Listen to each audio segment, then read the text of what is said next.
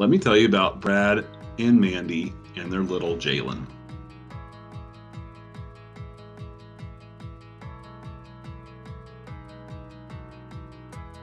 Some things that I've grown to understand and appreciate about them is the ability that they have to work together. Uh, Jaylen um, came to an event with his bigs, uh, Brad and Mandy. Jaylen worked on goals and things that he really enjoys doing with his bigs are drawing, and he had come up with wanting to work towards uh, creating new characters, and also that he wanted to create his own video game and work towards that.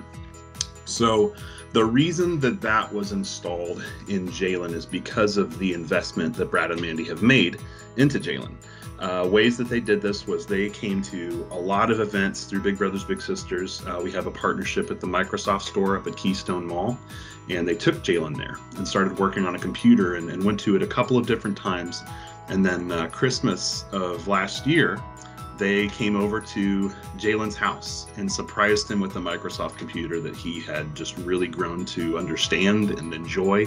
Brad and Mandy have worked very, very hard um, in just helping him understand his true potential. And so they've done that in a number of ways.